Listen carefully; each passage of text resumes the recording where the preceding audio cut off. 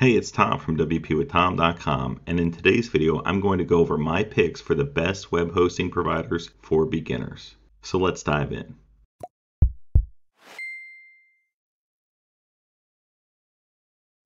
So to kick things off here, I just wanted to mention that in this web hosting comparison, I used anonymous accounts that I have with different providers. Some of them are actually under friends' names, and I basically just use a default WordPress theme and install it on each of these hosting plans that I purchased.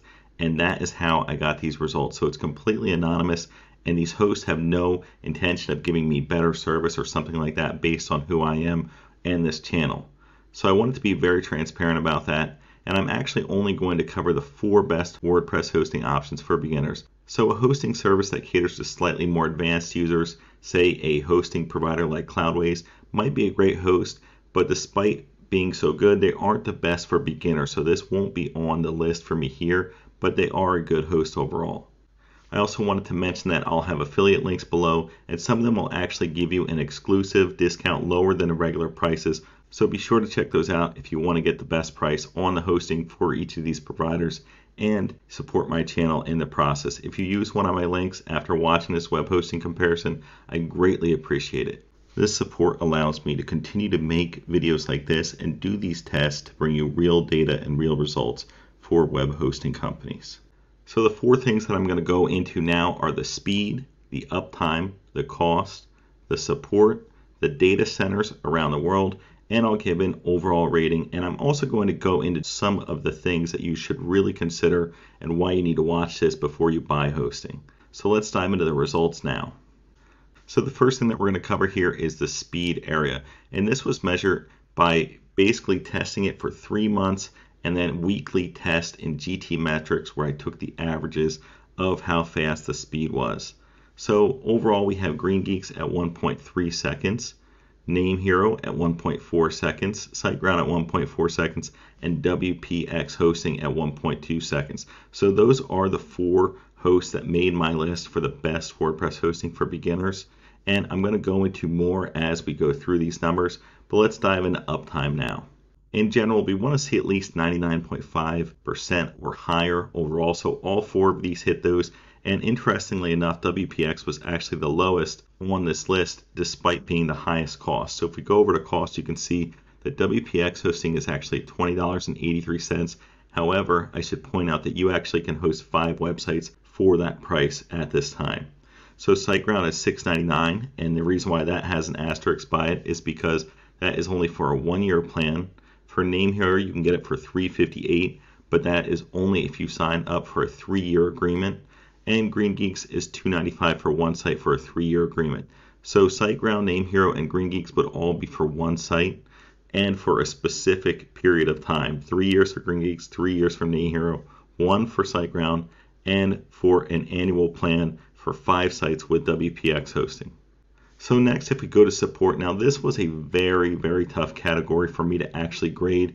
And I say that because I think SiteGround is very well known for their support within the industry, and rightfully so. They've had probably the best support in the industry for the last few years, if you ask me, at least for the price range that they were offering their services in. But recently, I think they've fallen a little bit down and I've personally had no issues in terms of the support that I've received, but I've actually seen a lot of public criticism about SiteGround's WordPress support more recently. So I actually bumped them down on the list. And I actually think GreenGeeks got a little bit better. I used them recently and I moved them up to number two because I actually migrated a website to test their service. And it was probably the smoothest migration I've ever made migrating a site to GreenGeeks compared to any other migration I've done for a website in the 10 plus years I've been doing this. So I actually bumped them up to second. WPX hosting was first for me, and they have the fastest live chat support out of each of these options. And they're also solid with the more advanced questions as well when I've asked them some more technical ones. So this is one of those examples where you get what you pay for and why they have great support is because they're offering a premium service here and it really stands up to the test. Now, in fourth, I do have NameHero, and to be fair, I think NameHero offers solid support. It's just that you're comparing them to great hosting providers here that all have good support or amazing support in WPX's case. So you have some amazing support with these. And NameHero is above average, but when you compare them to these ones, I have to put them in the fourth slot overall. Now, when we move over to data centers here, this is pretty straightforward. Overall, GreenGeeks has four total data centers. They have two within the United States, one in Europe, and one in Canada. They're actually the only one that has one in Canada. So if you are a Canadian user, you might get a little bit better service with the data centers in Canada. For NameHero, we have the US and Europe, and they actually have different pricing on their website for each, so be aware of that.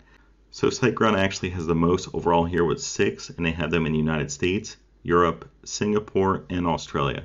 So if you're in Australia, it might benefit you to use this or Singapore for this example. So SiteGround actually might be a better fit for you. And we also have WPX hosting down here with three, and they're located in the United States, United Kingdom, and in Australia. So that wraps up the data centers there, but depending on where you're located, this can have an effect. But if you're located in the United States or Europe, really any of these should work fine for you. Now, overall, this was really tough for me, and I truly believe that these are the best WordPress hosting options for beginners out there. So I really don't think you can go wrong with any of these, but just be aware that I put them in this order for a reason. So I primarily put GreenGeeks first overall because I think they offer a lot of value. They have the lowest price out of any on this list. They have good speed, good support, four data centers, and they had perfect uptime for me. So overall, they're really just hard to beat because they've come in first or second in every single category that I covered here. Now this is where it gets a little dicey for some people because SiteGround comes in second for me. And if you look at it, it really depends on what you value. I think SiteGround has great support. They also have the six data centers. They had perfect uptime and they had good speed. Overall, SiteGround is a leader in the industry and they have been for years. But the reason why I put them below GreenGeeks is because at $6.99, it's kind of hard to justify the price when you look at something that's half that price with GreenGeeks or less than half that price with GreenGeeks.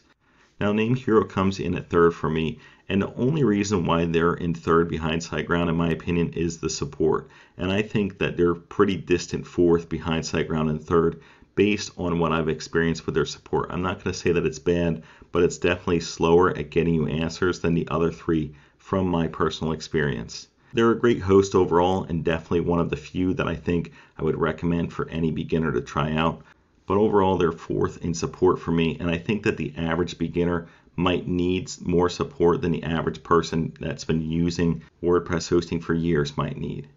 And in fourth overall, I have WPX hosting. And you might be thinking they had the best support, they had the fastest speed, they had good uptime. Why are they fourth overall? Well, the other ones had better uptime, but the main thing is the cost here.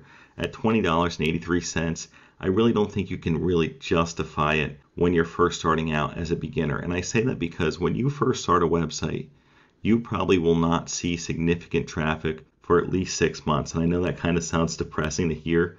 If you have a local website, a local business, you might see some traffic. But to really get ranked, if you're creating a blog or something like that, it's going to take you six to eight months probably before you really start seeing anything significant. It might take a full year. So you'd be better off going with something else that's cheaper for that year and then migrating it over to WPX hosting, in my opinion. And they do have a free migration service with their platform. So if you really grew your site on the cheap by using something like GreenGeeks, and then after a year, if your site's going well, or two years after it's going well, then you can move it over to WPX hosting and basically only move it over there when you need to move it over there because you have enough traffic coming in. There's really no point in just spending all that money up front on hosting when you could be putting it toward other things in your business. So overall, I really hope you enjoyed this web hosting comparison. Again, I just wanted to say that these are all good web hosting companies.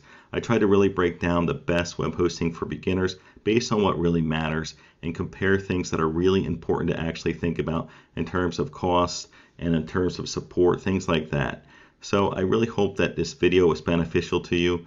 Again, I do have links below in the description if you want to check them out and support my channel. I greatly appreciate it, and I really hope that you just enjoyed this video overall.